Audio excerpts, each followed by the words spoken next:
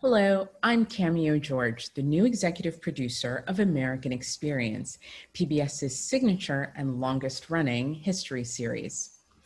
Today, we're pleased to present a discussion around Vanguard how Black women broke barriers, won the vote, and insisted on equality for all, a new book by acclaimed historian and friend of American Experience, Martha Jones. Vanguard, released today by Basic Books, offers a sweeping history of the political lives of African American women. It's the story of how they defied both racism and sexism and fought for, won, and used the right to vote.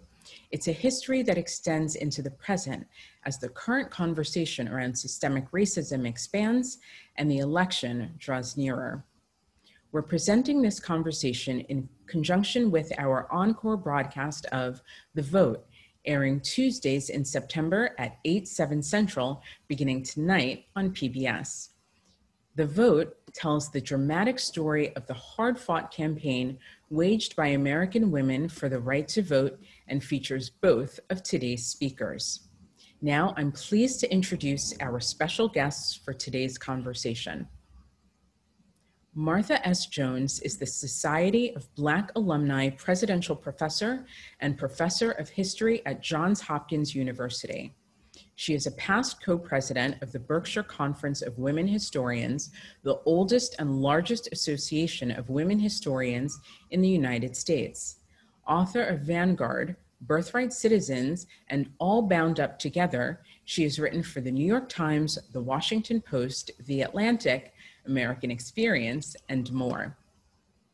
Marcia Chatelain is a professor of history and African American studies at Georgetown University.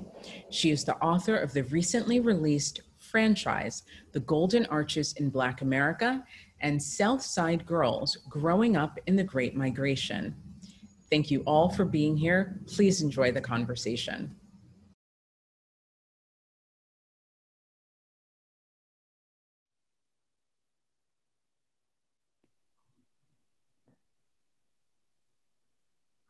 It's a real pleasure to be here today to talk to Martha Jones, the author of Vanguard, which um, celebrates its publication day today, but had an early review in the New York Times and it was described as elegant and expansive. And I think that that is an apt way of describing your body of scholarship, Martha.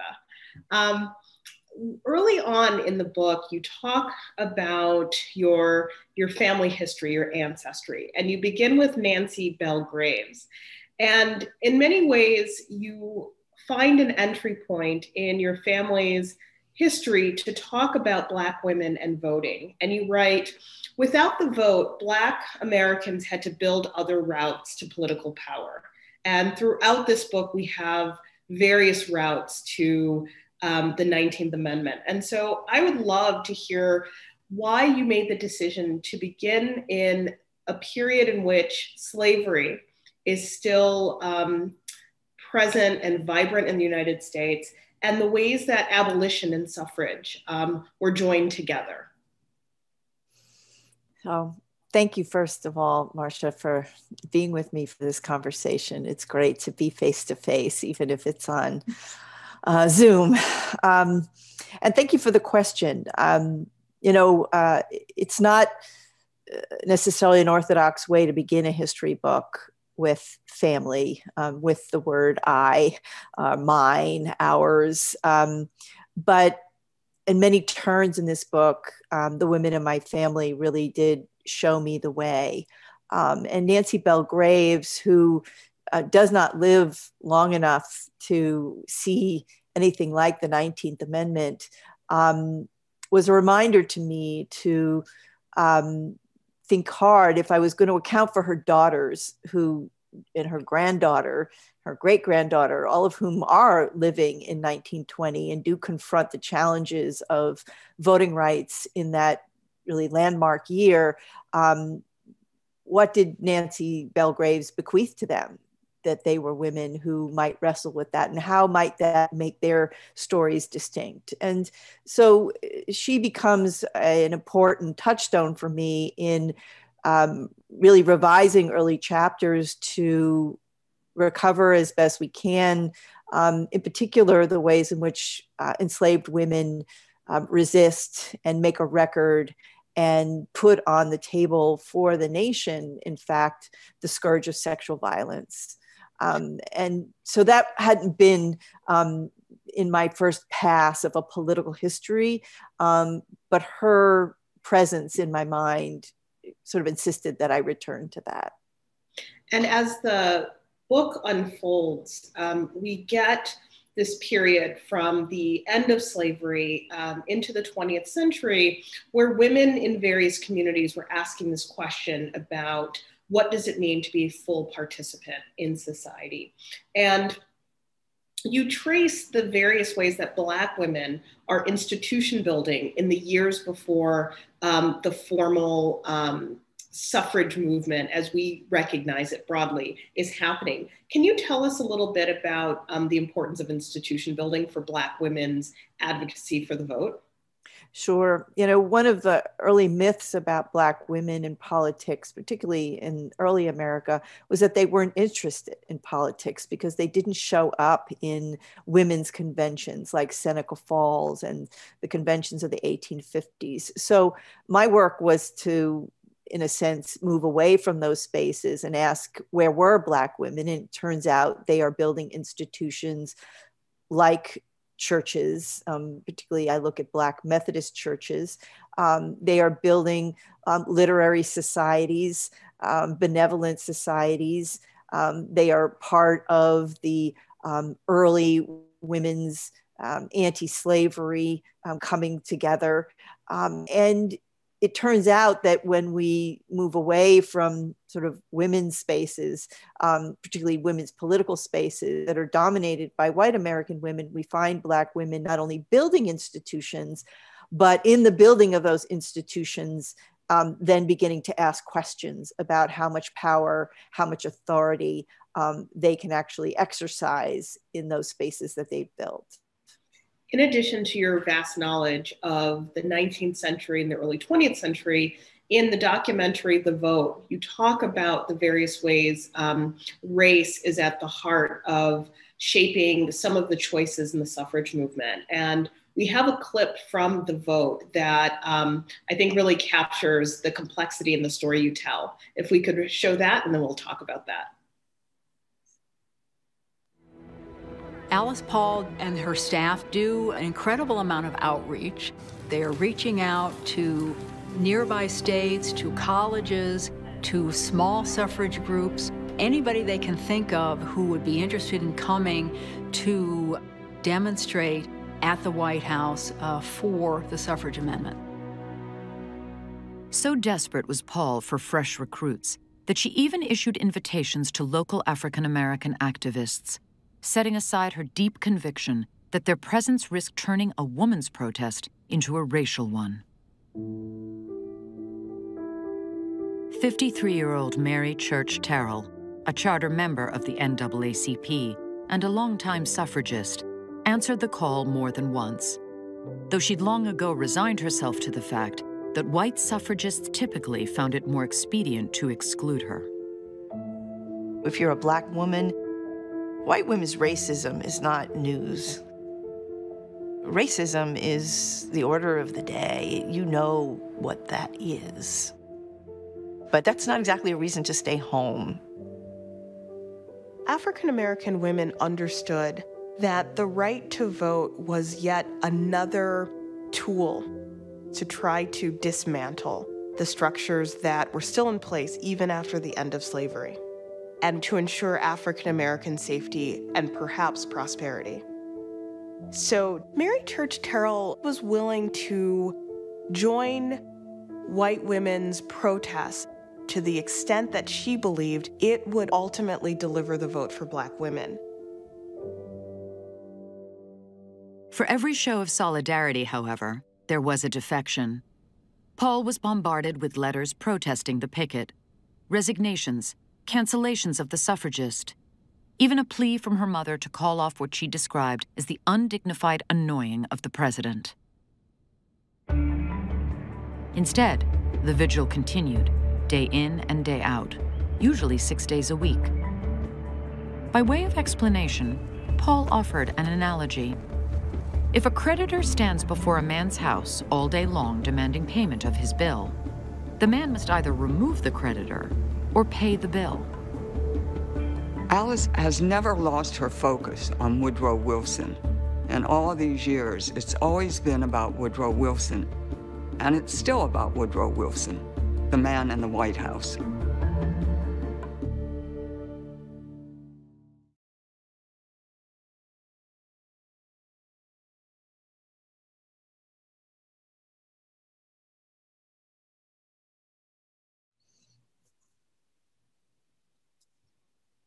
From the clip in um, the vote, we see the various ways that, um, as you said, Black women are showing up, and there is this there is a series of moves in the suffrage movement that um, are about both gender and race together. And while the national suffrage organizations are making their appeals to the Wilson White House, how would you capture the spirit of what Black women are doing politically in that period right before the ratification? I think they're doing two things. Um, on the one hand, they're attempting to keep, um, uh, you know, at least a part of a foot in the in the in the suffrage scene, right? It, that that's being run by NAWSA and later the National Women's Party. Um, I think it's very important, right, to to show up um, and to not cede, right, wholesale the steering of women's political futures uh, to white women, even as that requires then a confrontation in very different ways with anti-black racism. So I think there is that. And at the same time, um, Black women are juggling um, adeptly, but they are juggling um, the politics of the vote um, with the politics of anti lynching and much more. And um, so part of what I try and do in Vanguard is sort of pull back from some of these you know defining scenes to say look at what else black women are having to contend with you know by 1914 um, on the floor of the US Senate, there are proposals that would repeal the 15th Amendment, mm-hmm. which had prohibited the states from using race as a criteria for voting in exchange for a, a women's suffrage amendment. Black women have to contend with all those pieces um, and much more, particularly in the Wilson years. Um, and that means that um, they're never um, able to reduce themselves, if you will, to a single question or a single um, issue movement like the movement for women's suffrage. One of the questions I'm sure you get a lot, and after people see the vote, they ask these questions about um, sisterhood across the color line or feelings of betrayal. And from my perspective, I think Black women were always prepared for these types of fights. What do you think um, prepared Black women to um, know how to keep a foot in that space in light of all of these um, different negotiations of their rights? Um, I think part of the story lies in um, in local scenes rather than on the national front. Right? We know, for example, that Ida Wells in Chicago, who is you know, very um, crudely rebuffed in Washington when she shows up to Alice Paul's uh, women's parade in March of 1913.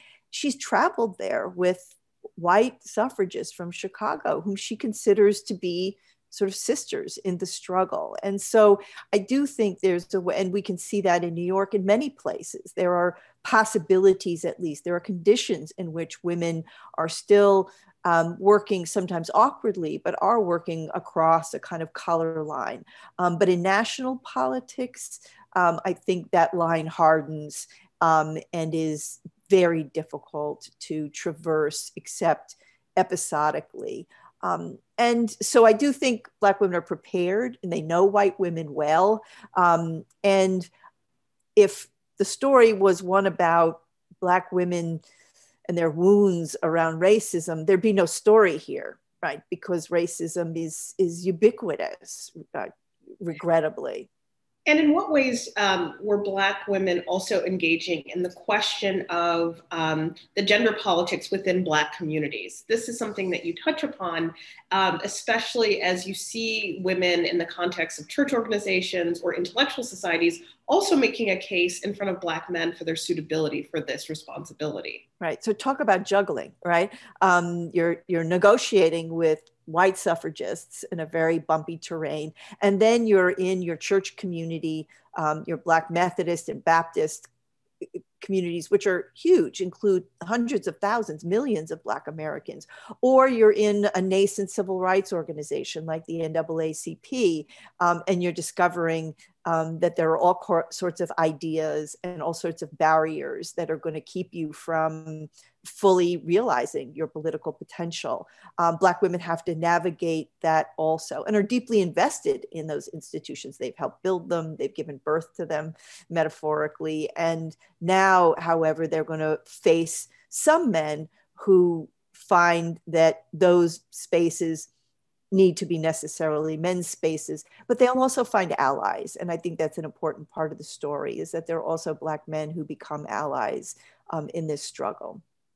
In the period of time after the 19th Amendment and before the signing of the Civil Rights Act. We have 45 years of really critical history that um, your book does an excellent job of saying, okay, after we get to the 19th Amendment, there's so much more, and you don't rush through that period of time. So, what do you think are the pivotal shifts that need to happen um, between a constitutional amendment and such a powerful piece of civil rights legislation in order for this struggle to continue to have resonance. It's important to say that immediately in 1920, with ratification of the 19th Amendment, Black women call for a federal uh, legislation. They call for federal legislation that would give teeth to the 19th Amendment as well as the 15th Amendment. They think they need federal legislation to wipe out the Jim Crow laws that are going to keep too many of them from the polls, especially in the South. So, this is the agenda in 1920. It takes 45 years, as you say. And part of that story is about Black women not taking disfranchisement um, as somehow defining of their political possibilities, right? I write about Mary McLeod Bethune, the Florida based educator and suffragist, who by the 30s comes to Washington, D.C., and is going to learn to use lobbying and patronage and um, party politics um, to get herself appointed in Washington, even if she can't vote, no less be elected out of the state of Florida. So, in some sense, you can't tell the story of how Black women get to the vote without appreciating the politics that it takes to do that. And Bethune lays a foundation in those years by not only situating herself, but scores of other Black women in federal agencies where they are now meting out resources. They're learning how to do politics. Um, and this is part of how we get to ultimately that federal legislation, right? Is Black folks at the table. And if we can't get elected, um, well, let's see what we can do by way of political allyship. And Bethune is masterful at this and really is a bridge to the modern civil rights era. And in Vanguard, you talk about um, this history that um, when you put Black women at the center of American political history, the periodization changes. You meet some familiar um, people in history, but you see them from a different perspective, whether it's um, Ida B. Wells Barnett, who I think increasingly is becoming understood as a suffragist, as well as folks like Rosa Parks. So at the point where there is the mid century civil rights movement, where people are starting to see voting rights as part of um, a series of demands um, that African Americans are making, what role does do women play in that translation process of the gap between um, you know what's constitutionally uh, granted and what's actually experienced? Yeah, this is um, you know uh, the I think, just um, arresting work of someone like Fannie Lou Hamer. Um, and Hamer um, is just an example of the ways in which now I think what's different is um, a politics that um, we sometimes refer to as grassroots, right? That um, if Bethune had been an educator and hobnobbed with the Roosevelts, um, modern civil rights um, is the terrain in which um, Black women begin to speak. Now, now, Bethune herself, right, is daughter of, of sharecroppers um, from South Carolina. Um, but that's not how she positions herself quite in Washington. But Hamer comes right, right up out of that experience um, and is now, I think, in an interesting way, um, there's an organic, right? There's an organic quality um, to our rootedness um, in Black women's politics that is no longer performing for the back rooms of Washington. It is performing for um, the television camera, right, and, and the news photographer, and that's important, um, but is much more situated um, in real place and in real time. Um, and Black women do the courageous work, as I try and explain. It's literally the body, right? It's it's literally putting bodies on the line, and we know that story from the the, the vivid um, footage of the uh, attempted crossing of the Edmund Pettus Bridge, for example. But that is a, a very dramatic rendering of, I think, the everyday experience of African American women in this voting rights scene. They remain as vulnerable in some ways as their foremothers did to violence and sexual violence. Um, but there's nothing um, shy of that in a sense that is going to propel this issue onto the front burner in Washington, um, politicking in Washington isn't getting the work done.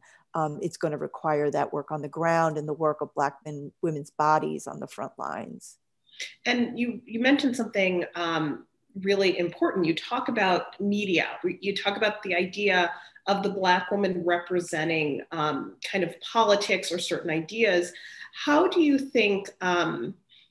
The presence of Black women as spokespeople or representative of the struggle to vote. How do you think that um, over this period of time, how does that change and why do you think it's effective in certain moments?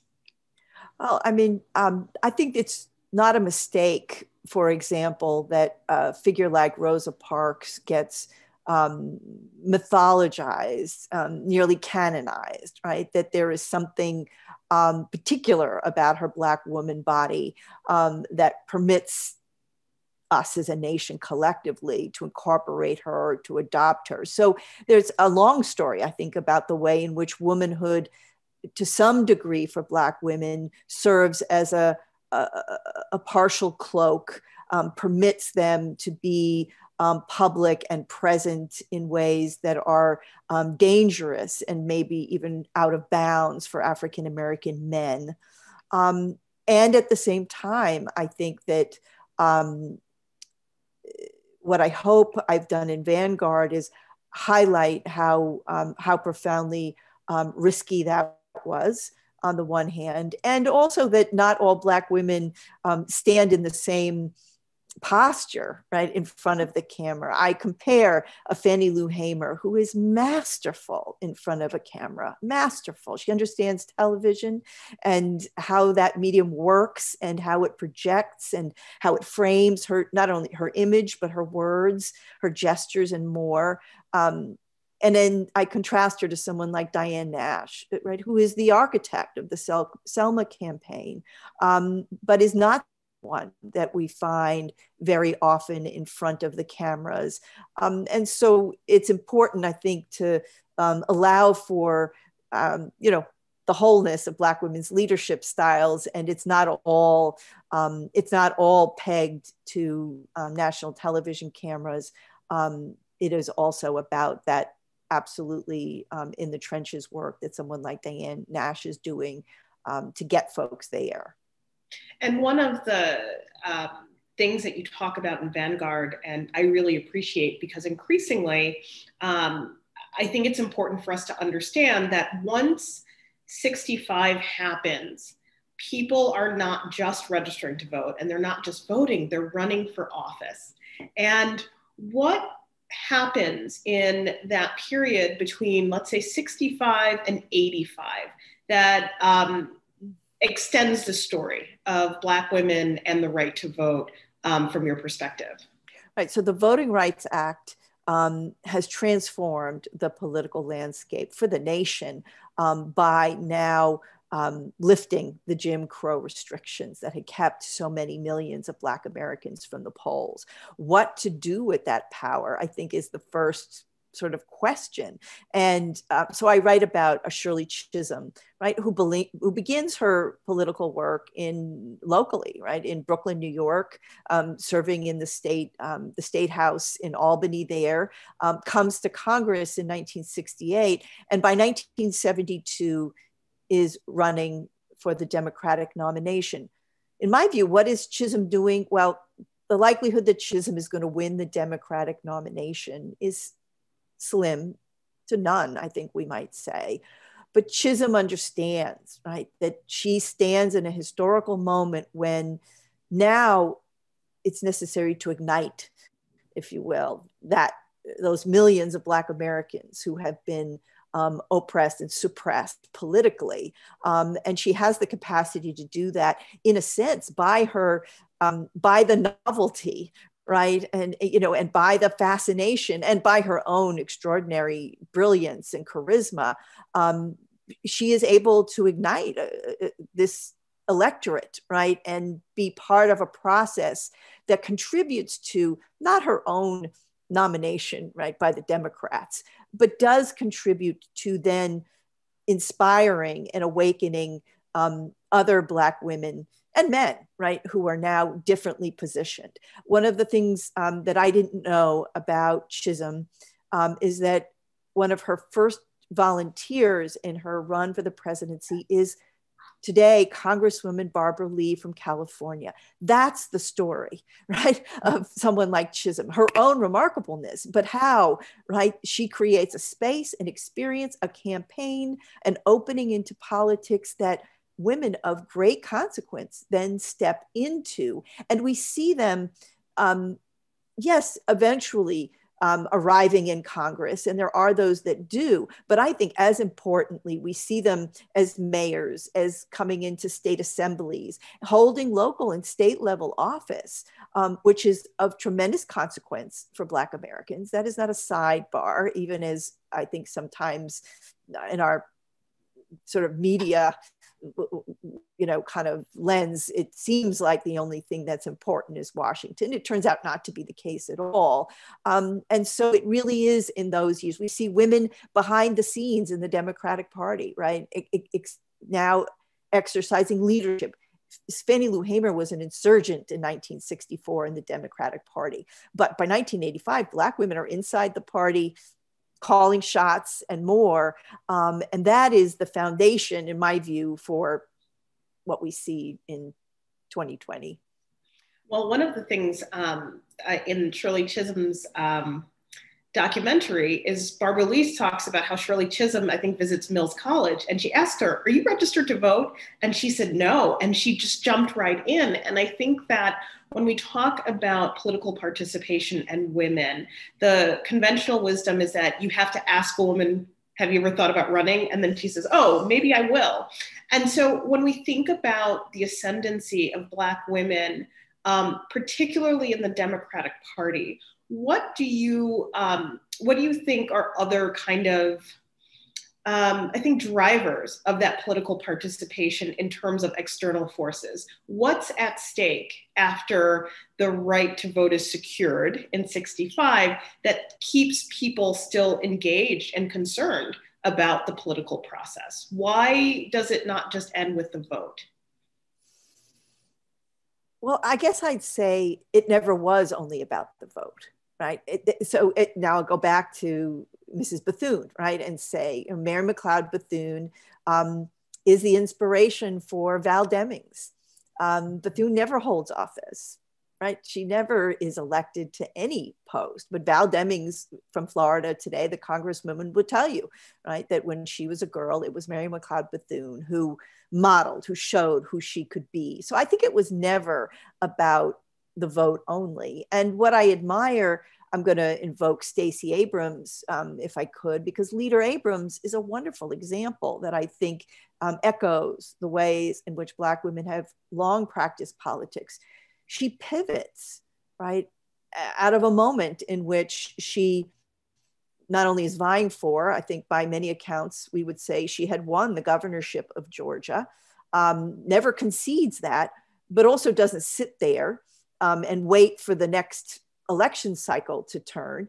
Um, she pivots to create fair fight um, and to work on voting rights. And I think this is the kind of broad political vision that Black women had to develop when in the era of disfranchisement, but it's not, I think, disappeared at all. I think it's still with us. I, I'm someone who admires Mrs. Obama, who says, I'll never hold office. Um, I'm not interested in politics. Um, but we know how hard she has worked in these years around voter education, voter registration, voter turnout. And I frankly see them as political, that is as political um, as, um, you know, Senator Harris, right, who's running for vice presidency. And that is the signature, I think, of Black women's politics, is that nimbleness, is that savvy, um, as which is a reflection, I think, of an ethos that says, political power is not um, is not an embodiment of my personal ego aspirations, right? P- political power has a purpose and it can take many forms. Um, and if my purpose is my community, if my purpose is all of humanity, which is what some Black women will say, um, I can realize that purpose through many kinds of means. It doesn't have to be um, through party politics um, and being elected. In the final pages of Vanguard, everyone read it. Um, you, you know, you gesture to the folks now who are out here, um, people like Stacey Abrams, um, Kamala Harris, um, you know, uh, former Attorney General Loretta Lynch, and I think the deep um, poignancy of this story is that there is still the question of enfranchisement in certain communities and the question of access to the vote.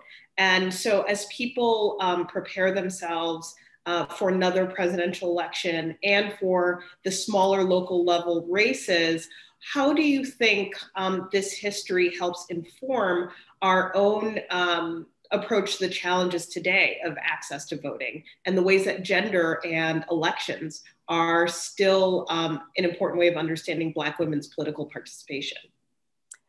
Um, when we uh, look at 1920 through the perspective of African American women, it is clear that it was an era, new era of voter disenfranchisement right, It was a voter suppression, right? It, to use 21st century parlance, is what kept Black women from the polls.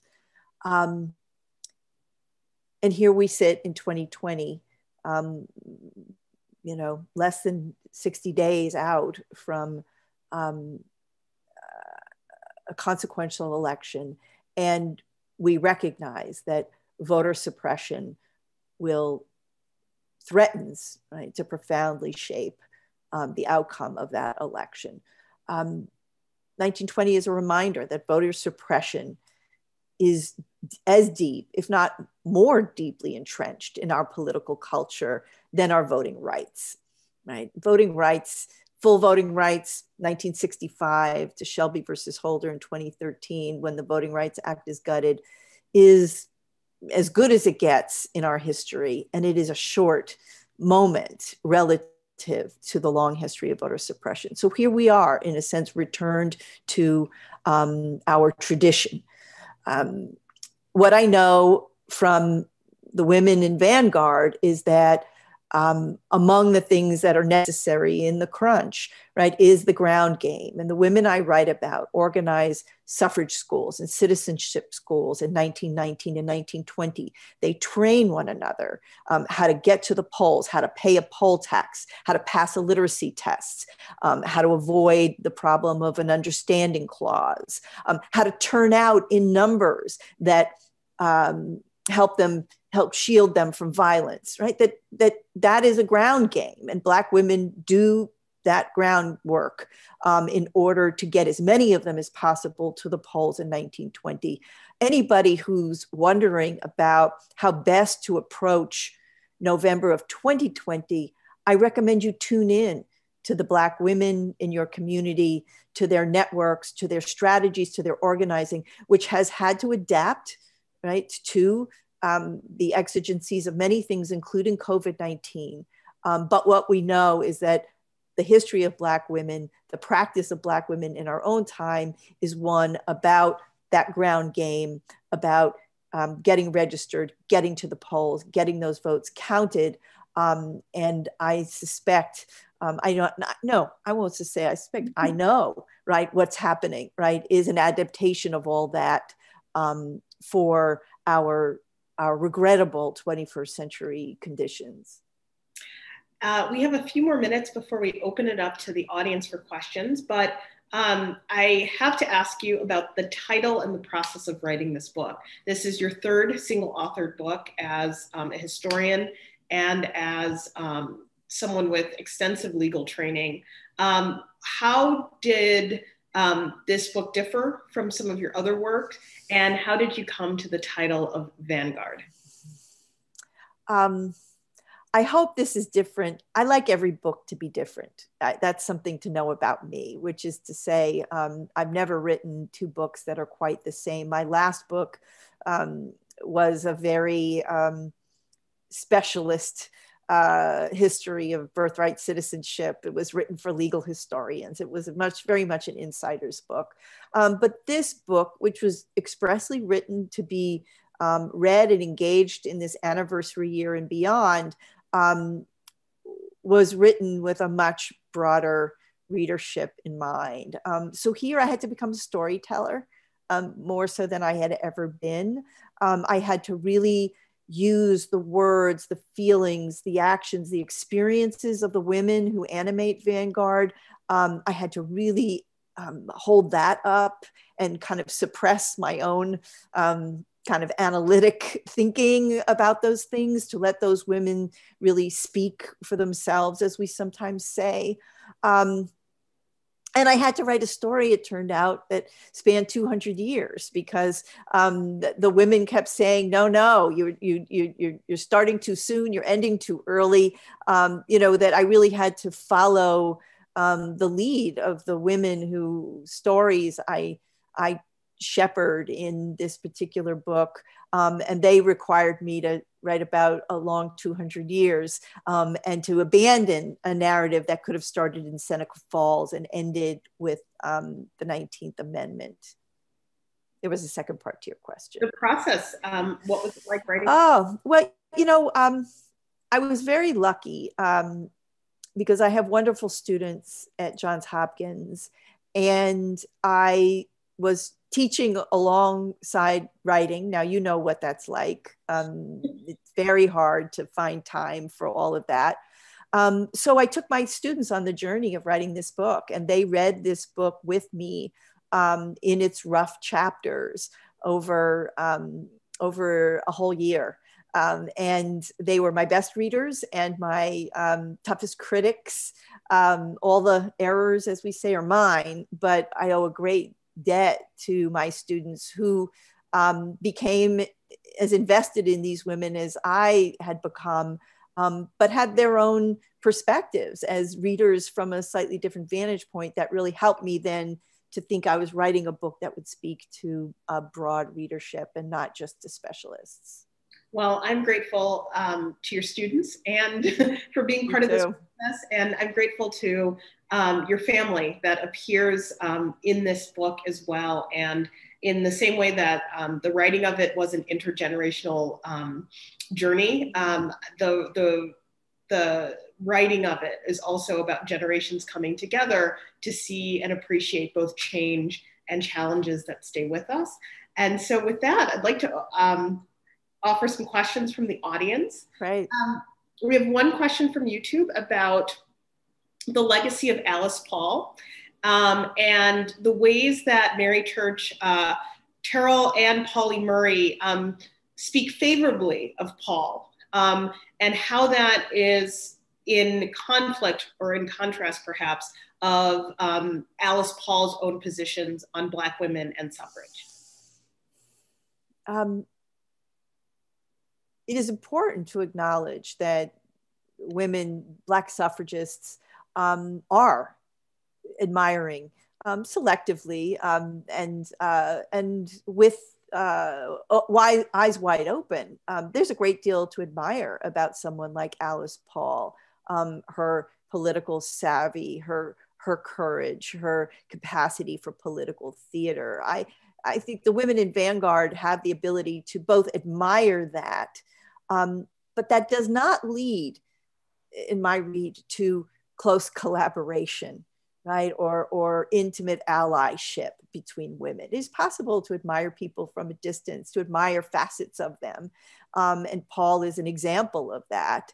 Um, and at the same time um, recognize that that doesn't always lay the groundwork for um, an allyship. Alice paul will in essence leave black women behind in 1920 um, with full knowledge that they need um, federal legislation if they're going to get to the polls in the South. Um, Paul will move on to the Equal Rights Amendment. Um, and that is also true, even as one might admire Alice Paul and what she was able to do for the 19th Amendment. Another question comes from Facebook. Where does the narrative of the failure of the next steps, like the ERA, fit into this story? Um, I think that um, we're not sure about the failure of the ERA. I guess it's important to say. And my my friend Carol Jenkins and her comrades in the ERA coalition are um, hard at work still on seeing the ERA through, and I hope they get that opportunity to see it through. Um, but I appreciate the question, um, or what I hear in the question is, you know, how do you think about politics as the long game that it that it actually is? right? Um, and nothing exemplifies that more than the story of Vanguard and the 200 years, right, that Black women um, spend building um, political acumen, savvy, skill, but access, power, and more. Um, that's an important insight from this that when we sit in any given election cycle and we're frustrated either by the process, we're frustrated by the candidates, um, that that is the that is what politics is. And the, the transformations through that mainstream fraught space um, require um, persistence. There's a word that comes sort of out of our gloss on the suffrage movement. It requires persistence and tenacity. Um, and some of the women in Vanguard live very long lives, like Mary Church Terrell, like Mary McLeod Bethune. And we watch how they evolve across those lives. Bethune begins, you know, as an educator building a school in Daytona, Florida. And by 1945, she's at the founding of the United Nations. There's a heck of an arc of a, a political career. Um, and that's what I think politics is. And um, and there is a challenge for each of us individually and for us collectively to build into our work that kind of longevity, because I think nothing short of that, nothing short of a willingness to be in it for the long game, um, will win gains in the mainstream political realm. Um, you know, you, you brought up uh, Bethune and the United Nations, and I was curious um, in your research process, how did global politics play a role in the ways that Black women created political strategies around suffrage and other related issues? Well, if we go back, you know, to um, as early as someone like Ida Wells, um, we know that Wells picks up really on the abolitionist tradition, right, of touring um, the United Kingdom and lecturing on anti-lynching um, in an effort to shame the United States, right? So there is that the way in which um, women like Wells or and and um, uh, Terrell, um, Bethune, right, are going to head to Europe in part uh, for their own edification and their own networks, but also because they're looking for fresh uh, political, uh, fresh critical vantage points on what's happening and not happening in the US. Um, by the time, um, you know, the internationalist vision, as, as historians like um, Keisha Blain have um, uh, told it in their work, um, is an important one, always an important um, alternative um, in Black politics, particularly in the era of disfranchisement, um, when Black Americans need to develop political imaginations that are not bound by um, the um, the discrimination and the oppression that they confront in the U.S. So the Garvey movement, for example, which is a Pan Africanist organization, um, draws women out of suffrage um, and into a pan African global movement precisely because suffrage feels like it just will not take Black women where they want to go. Um, so it is, it is part of the ways in which Black women develop their ideas, it's part of how they make politics. And for Bethune, I think it is um, transformative in 1945 for her to get to San Francisco to discover that the black men in her delegation aren't really interested in um, developing much of a collaboration with her, but that there is a framework around women of color, anti colonialism that fits extremely well with her critique of racism and Jim Crow um, at home. Um, and so there, I think Bethune does find a, a, meaningful sisterhood and a new way of framing her Black women's politics now as global politics in 1945. And when we think about, um, you know, the early um, platform for Black women in politics, people often think of Shirley Chisholm. And we get a question, we have a question from uh, YouTube about um, Chisholm's statement that she received more opposition by being a woman than she did from being Black. And, you know, we all know that, you know, Shirley Chisholm was kind of known for her, um, her pat comments. And so um, I have some thoughts about this, but the question is for you. oh gosh, I, I would love to. You, you know, because Chisholm always also said, you know, I'm not the candidate of black people. I'm not the candidate of women. I'm the candidate of all people. Um, but uh, I think all of that tells us that uh, Chisholm is um, laser tuned in to um, the politics of racism and the politics of gender um, in the you know post voting rights act era um, and understands i think most importantly that um, the part of the burden that black women bear when they step to the podium is helping varied audiences um, read them find them legible understandable right? She has to interpret who she is when she stands because people it doesn't quite compute, right? A Black woman in politics, a Black woman in Congress, a Black woman running for um, the presidential nomination. Um, and so there's a lot of that kind of talk from Chisholm. You're right, because she's witty um, and, and more, but it's also because her circumstances, I think, demand that she offer an explanation and she position herself um, by way of the existing imaginations that Americans have.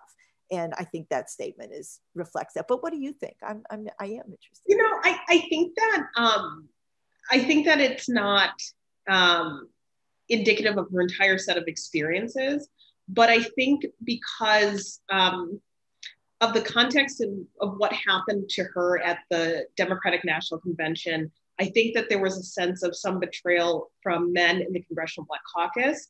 But if you look at her relationship to white feminists, I wonder if she would have um, suggested something else, right? And so I, I, think that she was someone who probably um, illustrates the complexity of the women that you focus on that how are you going to navigate sexism and racism in a way to help really show um, what you're up against, as well as I think highlight your brilliance and to be to be able to strategize around that. And I think um, that leads me to my next question about kind of genealogies.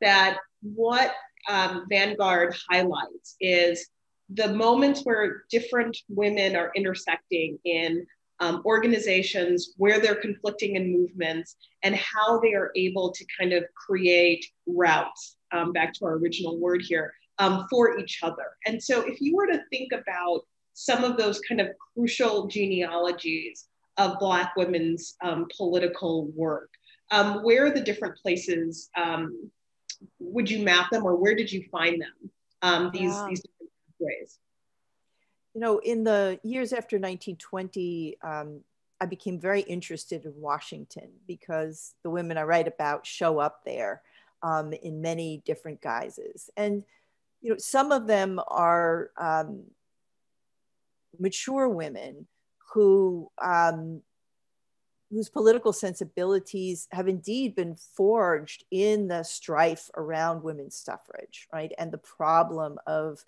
um, racism and hierarchy, racial hierarchy, as um, inextricable from women's politics. Um, and Bethune, I think, though, works her way through that.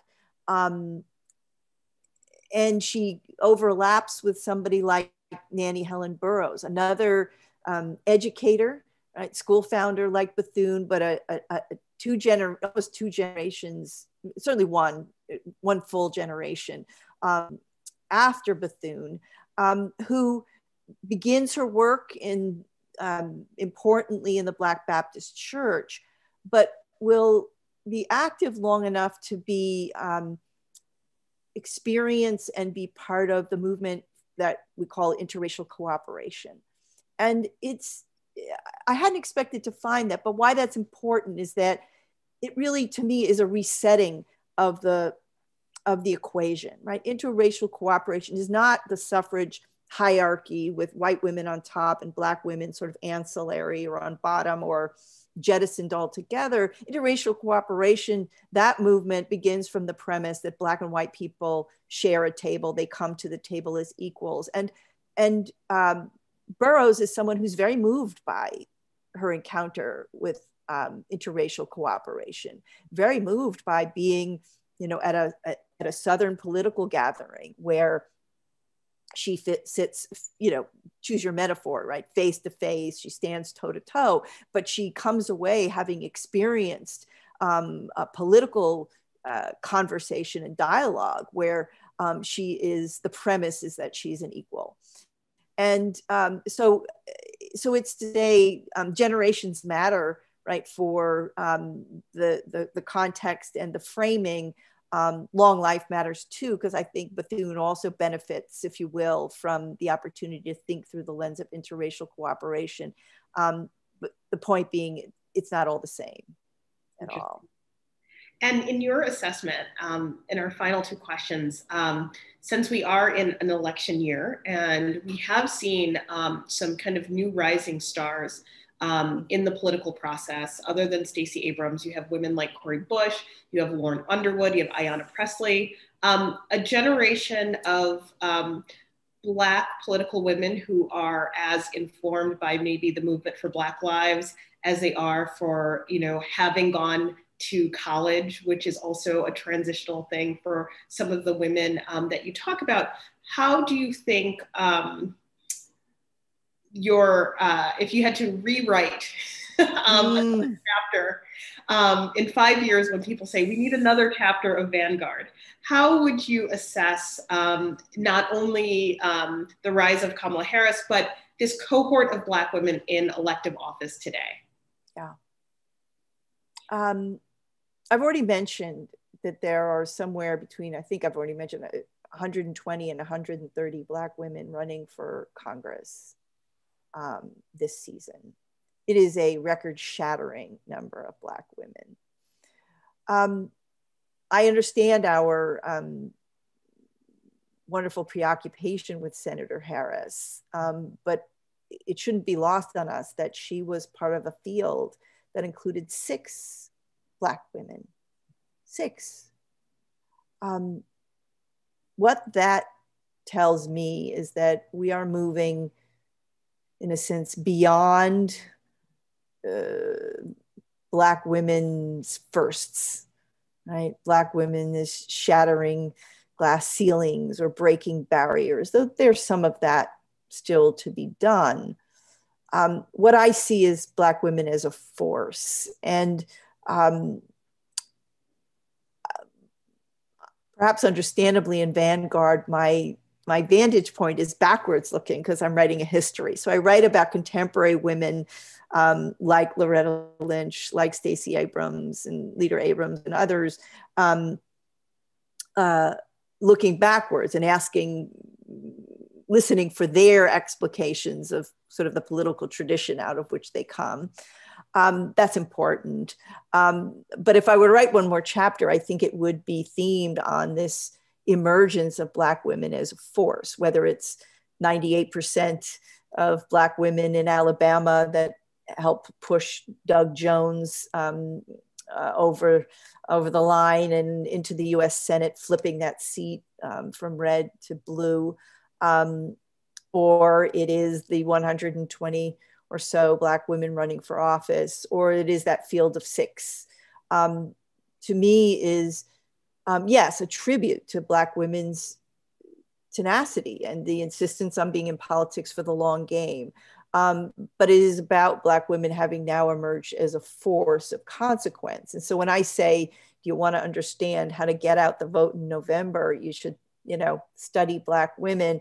Um, I mean it. And um, and Black women are understudied still in American politics. They have for too long been I think, tragically assumed to be transparent um, and uh, predictable and of, of, of too little consequence that my colleagues in political science have frankly too little to say uh, about how we get to this moment.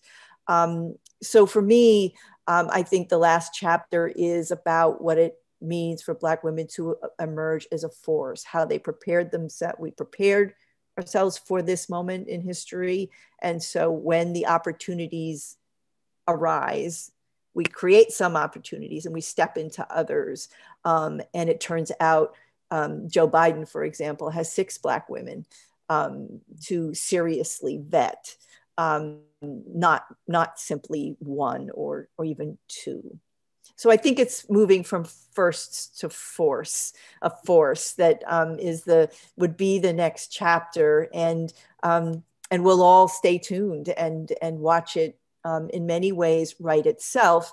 Um, we're approaching a, a um, an election of tremendous consequence, and I would never downplay the stakes in November, but I am someone who believes that um, that force of Black women in politics um, will not be deflated or dissipated or um, disappeared, whatever the results are in November. I think what we're seeing is a is a permanent and enduring um, an important shift in the political landscape. And our analyses demand that we understand it um, and know where it comes from and, and what its underpinnings are.